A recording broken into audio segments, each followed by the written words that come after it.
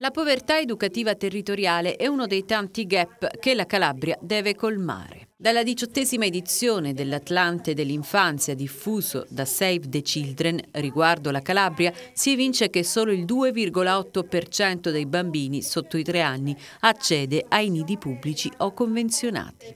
La Calabria è la regione con il più alto tasso di mortalità infantile, 4,42 ogni mille abitanti e registra il 32% di povertà infantile contro il 22% della media nazionale. Giussi Princi, vicepresidente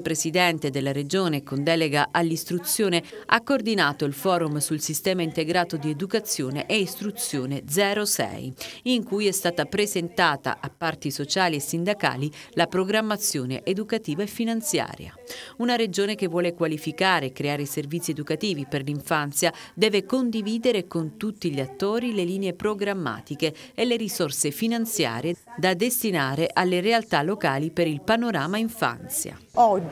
con 70 milioni di euro andremo a condividere con tutti quanti gli attori del nostro territorio, quindi parlo dell'ANCI, parlo dei 32 ambiti territoriali sociali, parlo dell'USR, dell'università e quindi di tutto quanto il panorama legato ai servizi educativi per l'infanzia. Andremo a condividere quella che è la nostra programmazione educativa e finanziaria perché vogliamo che i prossimi anni siano caratterizzati